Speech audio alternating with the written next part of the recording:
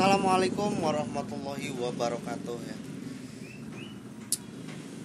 Jumpa lagi dengan saya Jenal Arifin ya. Kali ini eh, saya akan eh, mengasih wawasan kepada kalian semua atau eh, ngasih informasi bahwasanya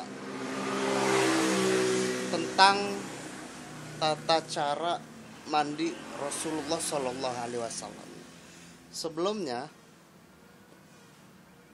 kita bersyukur kepada Allah Subhanahu Wa Taala.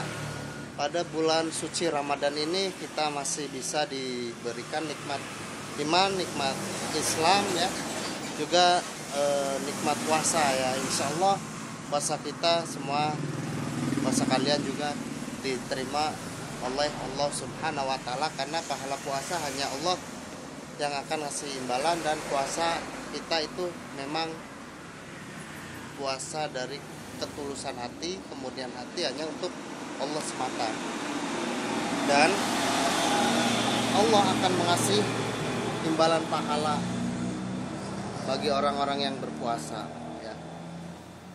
Jadi kali ini buat sobat-sobat saya ya buat teman-teman saya saudara-saudara saya saya akan ngasih informasi tentang atau ngasih wawasan pada kalian semua di bulan suci Ramadan ini kita harus berbagilah ya kan?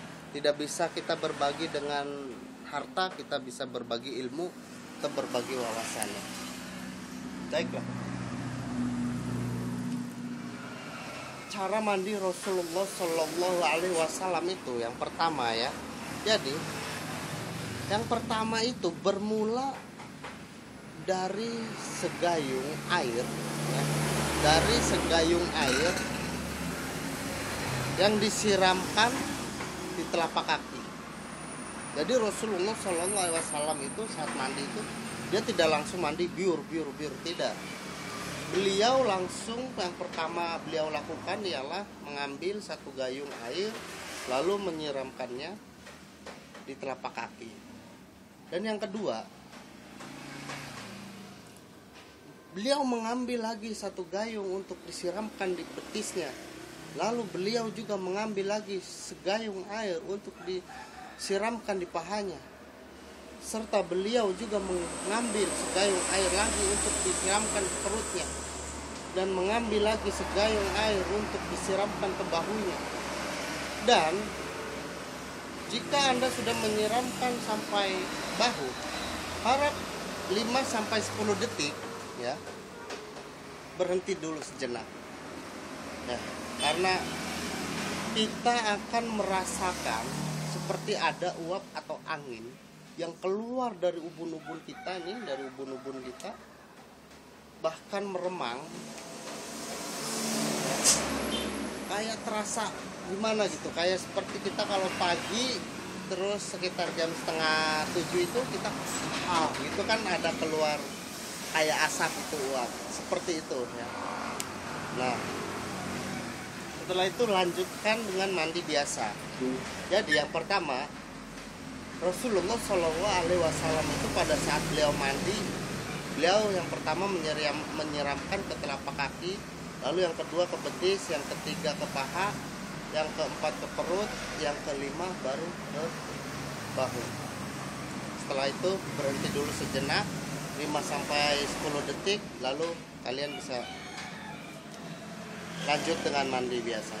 Apa yang dapat kita rasakan atau manfaat dari kita mengikuti cara mandi Rasulullah SAW. Yang pertama, kita akan mendapatkan seperti ada sesuatu energi atau magic ya seperti halnya nih. Kita bisa ambil hikmahnya ya. Seperti pada gelas yang diisi air panas. Gelas yang diisi air panas kemudian kita isi dengan air sejuk. Apa yang terjadi?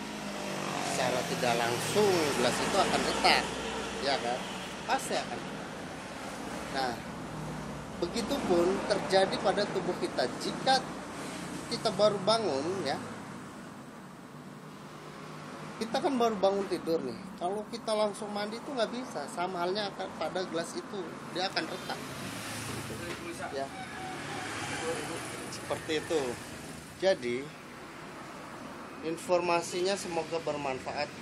Ya. Assalamualaikum warahmatullahi wabarakatuh